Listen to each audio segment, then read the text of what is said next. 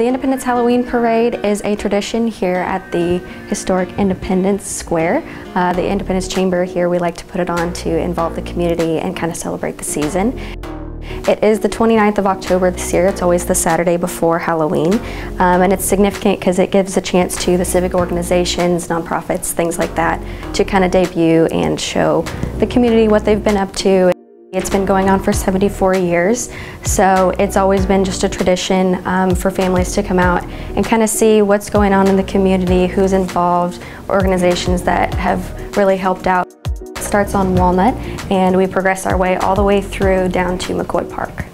The civic organizations get a chance to come out and see families and the families are able to see who's involved. There's also a chance for businesses to come in, um, so we have plenty that come through and have a float so that people can see. It's always gone really well. The community has always really enjoyed it and we just hope to keep going for many years to come.